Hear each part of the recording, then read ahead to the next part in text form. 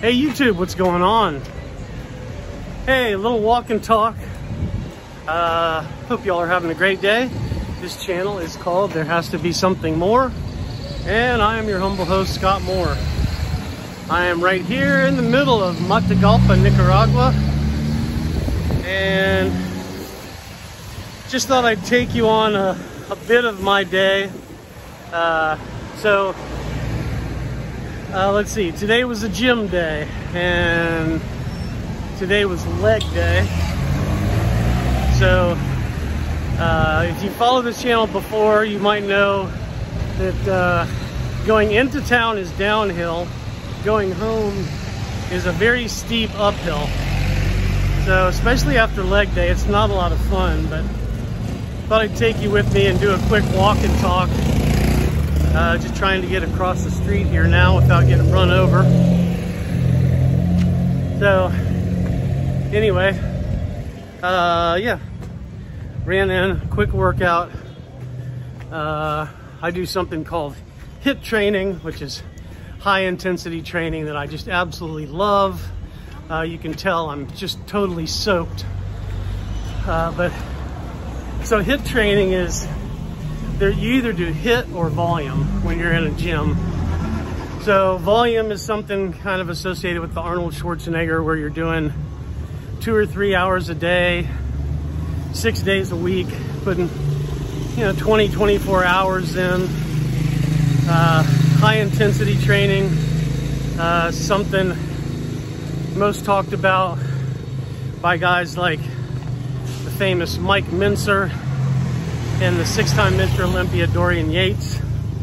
Uh, but it is, it's go in there, you push every exercise to or past failure. So it's a much shorter workout and it's in super intense. So once you're done, like I'm supposed to take off 72 hours at this point. Let your body recover. And uh, so anyway, that's what I've been doing. I really love it. When I was younger, we did more volume kind of stuff, but uh, absolutely love the high intensity training.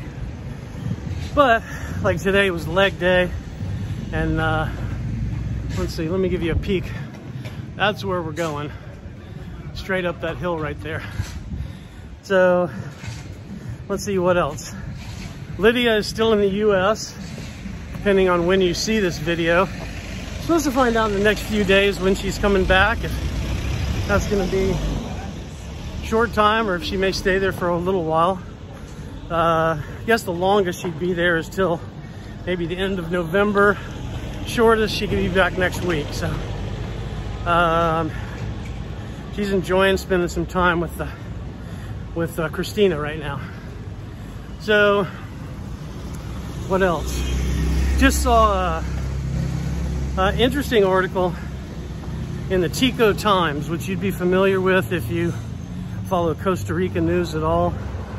But they're reporting massive homicide rates. Uh, like they're on track to hit 900 homicides in Costa Rica, which is record setting. Uh, I don't know what the homicide rate is here in Nicaragua. I did a quick check and I came up with like uh, think somewhere around 380 is kind of typical for the last few years.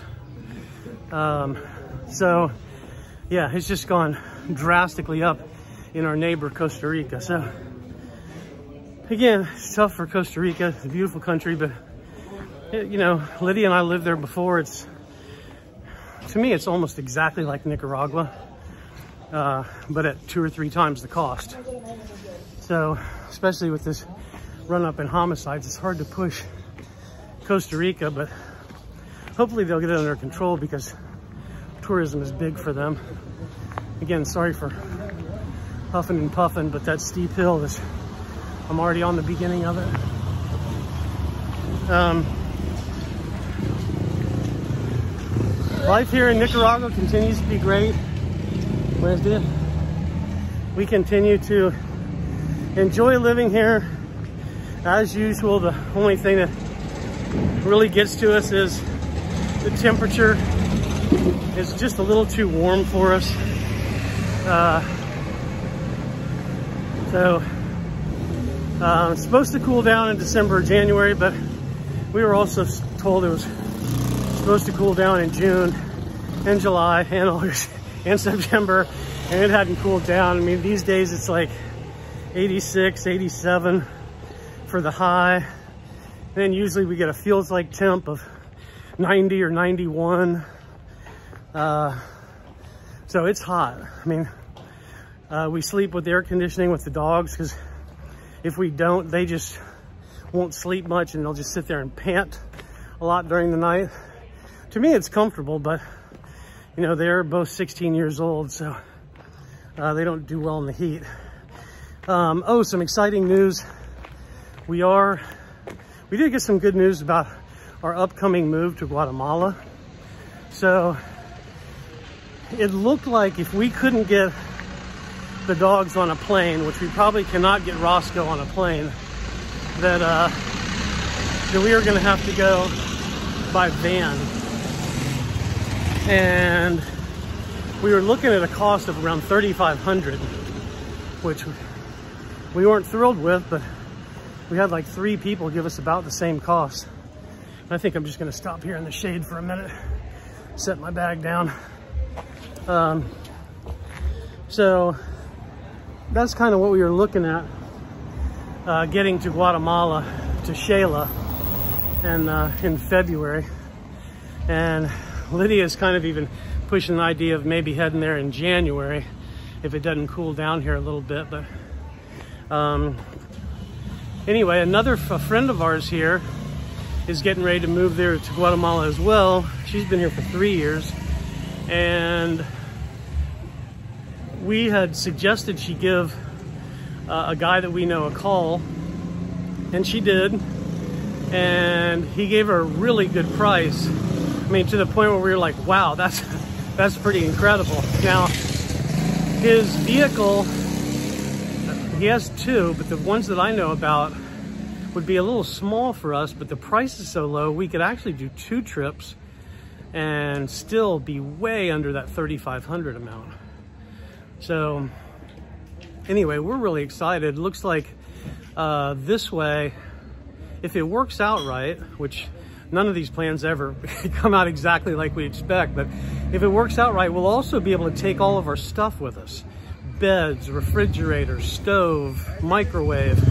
Uh, probably sell the air conditioner because it's about 20 degrees cooler in and I don't think we'll ever need it. Um, so, um, yeah, so we're really excited. Uh, found a, it probably is going to run about two grand uh, for us to to uh, to get there and with all of our stuff because most of the apartments there are um, are unfurnished. So we'd have to sell all of our stuff at a pretty good discount that we just bought here seven and a half months ago. Then we'd have to buy all new stuff. So this way, we'll get there, get the dogs there, get all of our stuff there, and we can go for an unfurnished place, which will be uh, way cheaper. So we're excited. That was good news for us. So, um, you know, if you're, if you do, just out of curiosity, if anybody does know like uh, typical homicide annual rate for Nicaragua, just to compare it to like what's going on in Costa Rica, if you pop that in the comments down below, that'd be very interesting to me please take a minute to like and subscribe. And uh, we'll keep you updated as to what's going on here. But in the meantime, we're just, uh, you know, kind of enjoying our time here. You know, it's, uh, I've had a couple of friends and family ask me like, don't you get bored there? It's like, I'm, I'm busy all the time. So mornings are usually running around like crazy doing errands either, you know, a trip to the supermarket like this, uh, going to pay bills because most of them can't be paid online. Uh, I don't know, just all kinds of stuff. Running to the ATM machine and then running to the gym. And then, you know, we always, we're always walking. So getting in at least a, a couple miles, even on a slow day.